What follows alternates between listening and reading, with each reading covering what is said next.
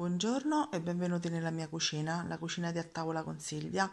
Allora, quest'oggi eh, ho voluto fare, un, voglio provare una ricetta nuova che è molto simile a quella che ho fatto precedentemente, cioè quella dei croissant.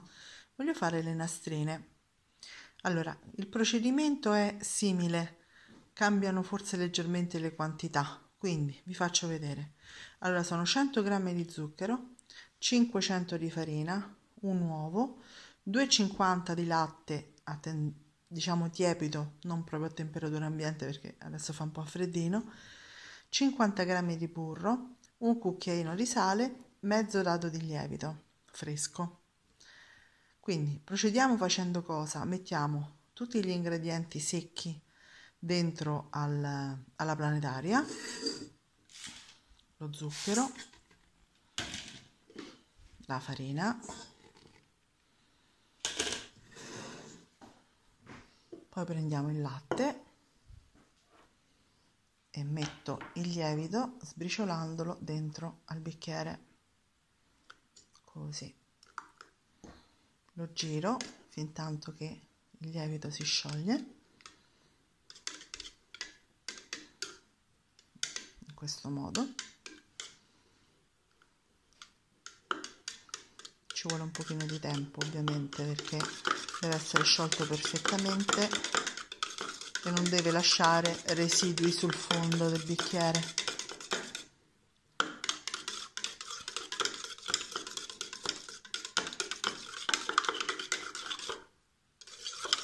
Ok.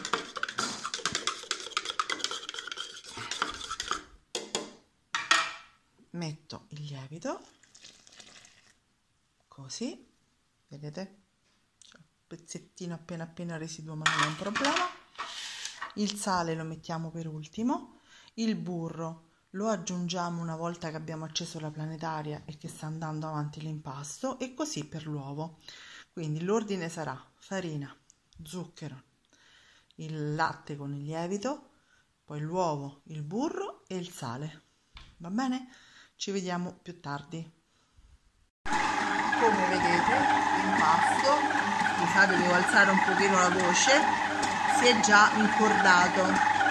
Adesso metto l'uovo.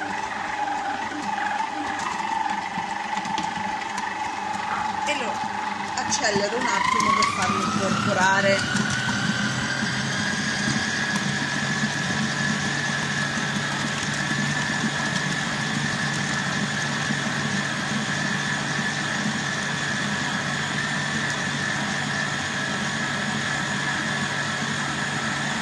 是啊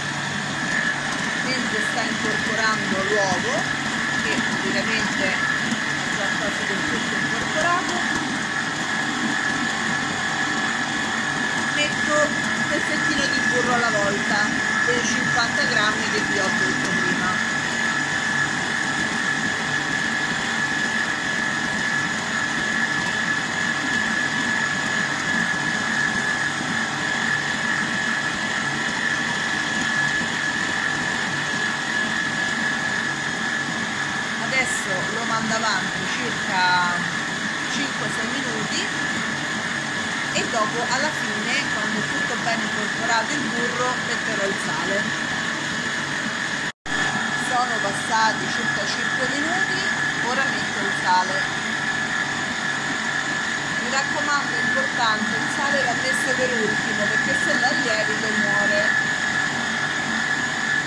Dopo andiamo avanti qualche altro minuto poi faccio vedere i passaggi successivi.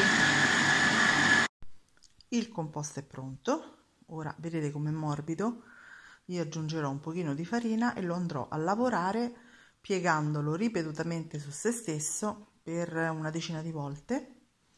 Dopodiché lo metterò dentro la ciotola coperta con il cellophane e lo metterò nel forno preriscaldato. Eh, insomma, ecco, fino a che non raddoppia più o meno il suo volume. Io direi almeno, almeno un paio d'ore, d'accordo? Quindi ci vediamo più tardi. Allora, come vedete ho tolto dopo due ore abbondanti il composto dal forno ed è triplicato invece che raddoppiato ora lo tolgo dal, dallo stampo dallo stampo insomma dalla, dalla ciotola e lo metto sul piano di lavoro con un po' di farina.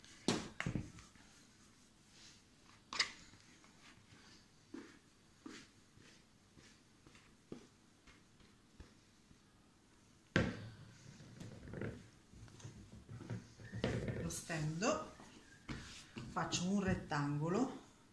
Non serve il mattarello perché è molto molto malleabile.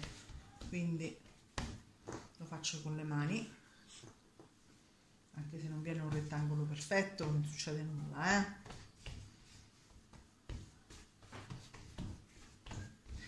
e ora metterò il composto di scusate il composto di burro zucchero e buccia d'arancia grattugiata diciamo sono circa 200 grammi di burro 100 grammi di zucchero e la buccia grattugiata di un arancio. Potete mettere se non vi piace l'arancio quella di un limone ma l'arancio ci sta meglio. Allora io l'ho lavorato insieme.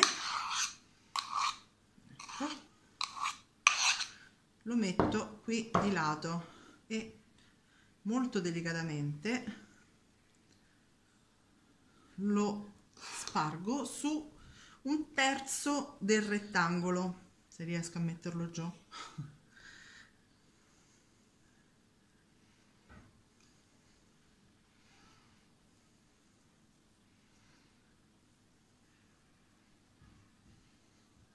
aiutatevi con le mani se non ci riuscite basta che le mani le avete sicuramente pulite, state lavorando in cucina. Se quindi... no viene più condita.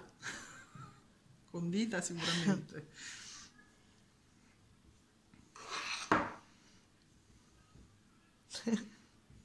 Ora che un po' Intanto Manfredo viene a controllare se io faccio tutto fatto bene. Ecco qua. Adesso questo ops lo piego così faccio lo stesso su questo lato qui sempre molto delicatamente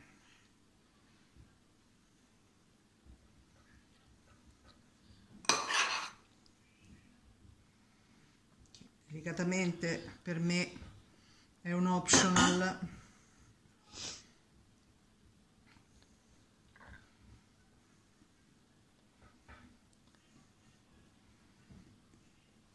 E arrotolo di nuovo.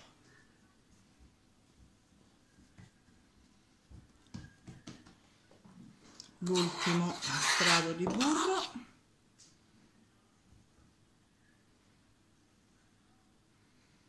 una cosetta proprio dietetica eh? sì. sì. praticamente in previsione della prova costume con tutto questo burro penso che la prova costume Dicendo la facciamo scritta. La rimandiamo direttamente al prossimo anno. Ok. Vedete che nel frattempo già sta rielievitando? Si è gonfiata già di nuovo.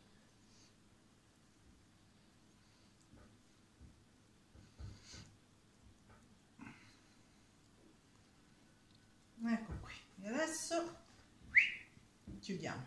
Questo era il il fischio di chiusura. Ora, fatto ciò, lo mettiamo in una pellicola, lo chiudiamo ermeticamente e lo mettiamo nel frigo per 30 minuti. Quindi ci vediamo dopo. Ciao ciao!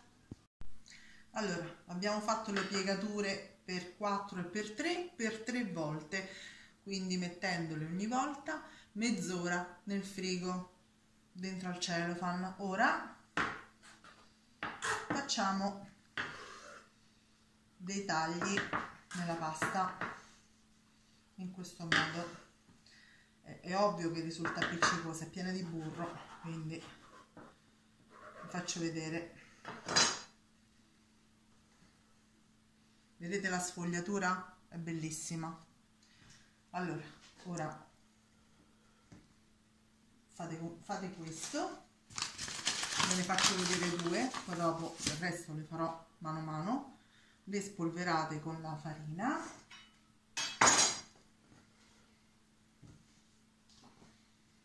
Delicatamente le allungate quindi gli date una forma. Così. Le girate in questo modo pigiate nel centro. E le mettete a lievitare. Procedete così per tutte le nastrine. Delicatamente. Poi le girate. Pigiate nel centro e continuate così mi raccomando essere la pasta deve essere sfogliata benissimo se no non vi verranno mai. In questo modo le girate come fossero un fiocco e le pigiate nel centro. E le mettete a lievitare. Sopra metterò dei granelli di zucchero appena appena tanto per guarda vi faccio vedere. Giusto per dare quell'effetto nastrina. Ok ci rivediamo quando sono tutte quante pronte. A dopo. Ecco qua sono tutte quante pronte. Adesso io metterò un pochino di zucchero mh, mm, classico. Potete anche mettere lo zucchero di canna che i granelli un po' più grandi. Su ognuna di esse. Così e poi le metterò di nuovo nel forno ovviamente preriscaldato e spento a lievitare un pochino diciamo un'oretta più o meno. Dopodiché passeremo alla cottura. 190 gradi forno statico per circa 20-25 minuti dipende sempre dai forni. Ci vediamo dopo eccole pronte le nostre nastrine? Sono delle delizie proprio. Delizie veramente. Sicuramente saranno buonissime. Io vi sprono a fare questa ricetta e fatemi sapere mi raccomando mettete nei commenti come sono venute. E mettete anche un bel mi piace e condividete. Condividete. Ciao a tutti. Ciao